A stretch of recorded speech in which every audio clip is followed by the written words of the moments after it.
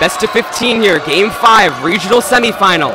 The Trojans can win it here. Here's Adams for the Los Gatos Wildcats, taking it easy. Here's Medina.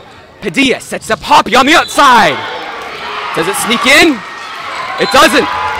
So the Wildcats now have their 10th. The ref is calling it off. Oh, the Trojans did it! They've won! Trojans win!